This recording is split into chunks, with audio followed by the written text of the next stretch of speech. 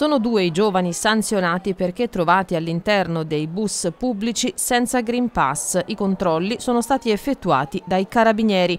Sarà un periodo indubbiamente di superlavoro per le forze dell'ordine da qui fino a tutte le festività natalizie, ce lo conferma il prefetto di Arezzo Maddalena De Luca. È ovvio che vadano comunque osservate delle particolari cautele, forse proprio in questo momento ancora più delicate perché come sappiamo non siamo usciti dalla eh, pandemia e quindi è necessario avere dei comportamenti prudenti soprattutto nelle prossime festività e in occasione anche del, del Capodanno, ma questo non ci deve impedire di fare, eh, di svolgere una vita normale con precauzioni. Come si devono comportare i, i suoi diciamo, concittadini per le feste di Natale? Capodanno sappiamo che non ci sarà una festa di piazza, ma insomma la gente si ritroverà.